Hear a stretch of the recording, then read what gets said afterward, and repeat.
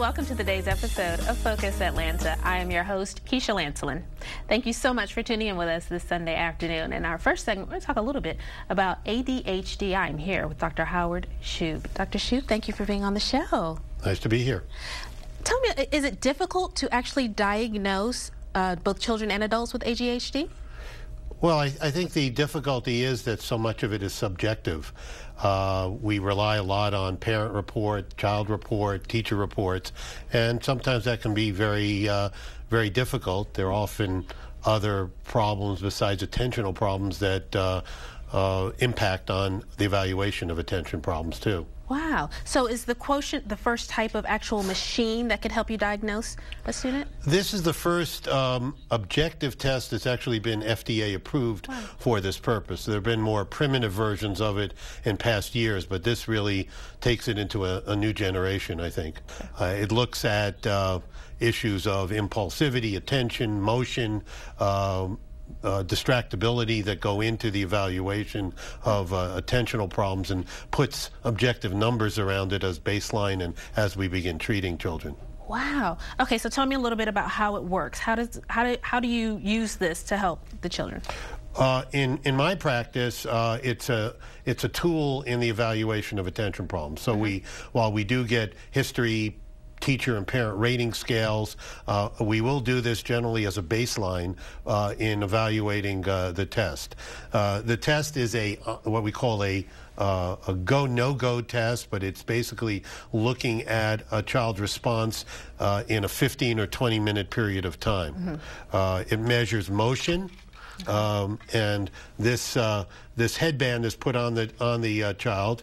There is a sensor right here that is picked up by the cameras that you can see right here, and it measures micro incremental movements of the child's head and in the older child leg motion as well, uh, which is highly correlated with issues of inattention. Another thing I would just comment is the bulk of the test is the way that this keyboard uh, uh, spacebar on the keyboard is used to indicate um, uh, responses when a child sees uh, a certain star figure. They're asked to push it, and when they okay. when they uh, see another star figure, not to push it. So it looks at areas of omission, commission, attentiveness, distractibility. Wow. Tell me a little bit about how using this quotient system actually helps you to determine what's working and what's not working.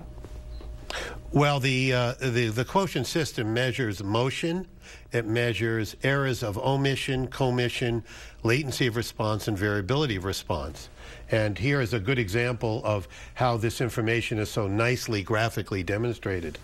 Um, this is a, a, transition from no medicine to optimal medication with the markers showing less motion as time goes on, and most importantly, uh, the green uh, shows 30 second increments of information that are virtually not present on no medicine and virtually present completely on the optimal dosage of medicine. I would imagine initially they go to their primary physician and say, this is what's going on, this is what's happening in school. When, when is it appropriate to say, you know what, maybe we need to visit a neurologist to see exactly what's going on? Um, uh, I think uh, uh, many neurologists are comfortable with with this. Uh, I, I, particularly, in our group, particularly uh, is. Many pediatricians handle it on their own. The simpler cases, when they have other problems, associated learning problems, tics or Tourette syndrome, uh, um, emotional issues, they may see a neurologist or a psychiatrist. Excellent. Um, I'm sorry, tell me a little bit about your practice and, and how people can uh, uh, find you. I, am a child neurologist, a pediatric neurologist in, in Atlanta, and uh, at, we're at Child Neurology Associates uh, PC, uh, www.childneuro.org. And if you have further questions about the test itself, there are several of people in town that have this. That's hmm. uh, uh, biobdx.com, which is the biobehavioral diagnostic, the company that manufactures and, this test. And they provide interpretation of the test, and then we use that as a, in part of our overall package in both assessing baseline and